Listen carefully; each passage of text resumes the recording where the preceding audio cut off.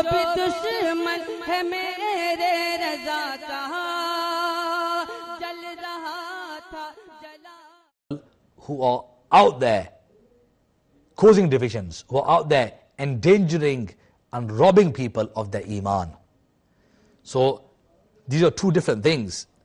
Those people who mention their existence, who make others aware of their presence, of the presence of these deviant sects, are not causing the division, but they are educating others. They are enlightening others with these diseases, as these are spiritual diseases, and they are so detrimental, they are so uh, harmful that they are destructive to your iman. And the iman, the importance of one's iman, it outweighs the importance of one's body. At one's, uh, you know, one's iman, if it remains intact, if you remain from the Ahlul Sunnah wal Jama'ah, your body is, even if it is affected with disease and your iman remains intact, you are safe.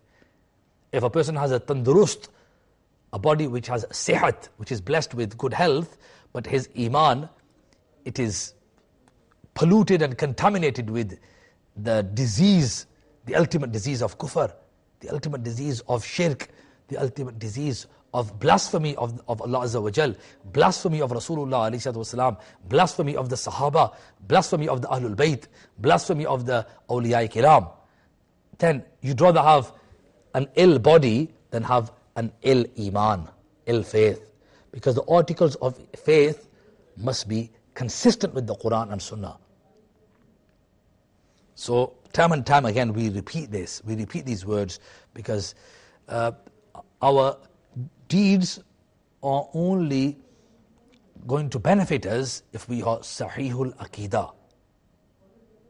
Okay? Allah Azza wa Jal, He may overlook our shortcoming as far as the establishment of good deeds is concerned. But when it comes to Aqidah, then Allah Azza wa Jal, we will be judged in accordance with our belief. Our belief must be correct in relation to the articles of faith.